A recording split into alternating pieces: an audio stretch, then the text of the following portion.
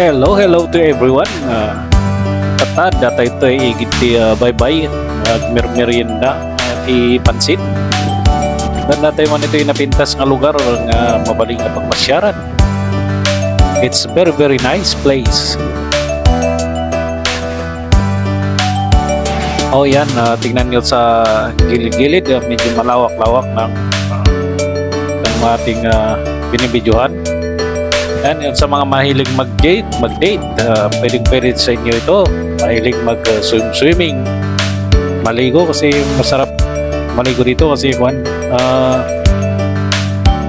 malinis yung tubig. Tapos may mga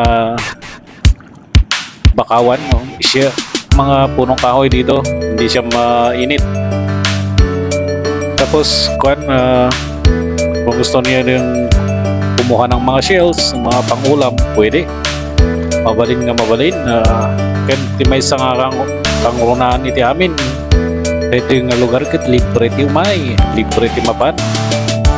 Kan uh, mabalin kayo agad digos-digos, tagtam-tampisaw iti uh, danong. Kan tam na malinisan na iti bagbagiyo nga nang ahon.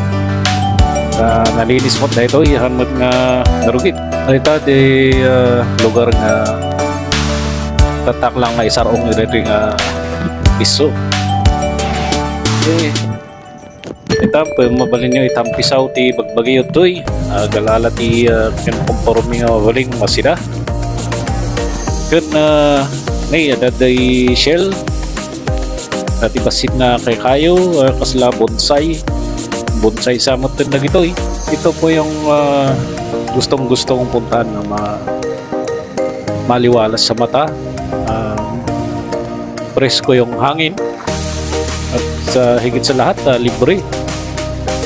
Um, mamasyal dito. Kahit wala kang pera pwede. Magbaon ka lang kung gusto mong kumain kasi bihira lang yung tao dito. Itong lugar po ay natatagpuan sa Palawan. Thank you